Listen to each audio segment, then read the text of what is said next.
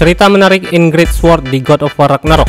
Gua bakal spoiler nih, jadi yang belum main minggir dulu. Ingrid Sword merupakan sebuah pedang sihir yang diberikan Odin ke Atreus di game God of War Ragnarok. Pedang ini punya jiwa seorang wanita. Hal ini bisa kita lihat dari keterangan senjata Ingrid di mana Atreus memanggilnya she.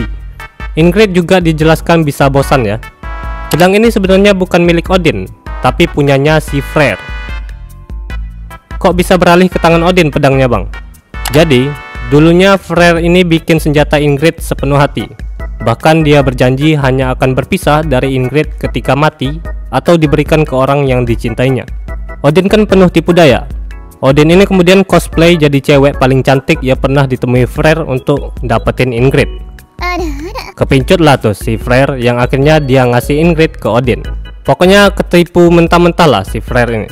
Alhasil Ingrid didapetin sama si Odin. Itulah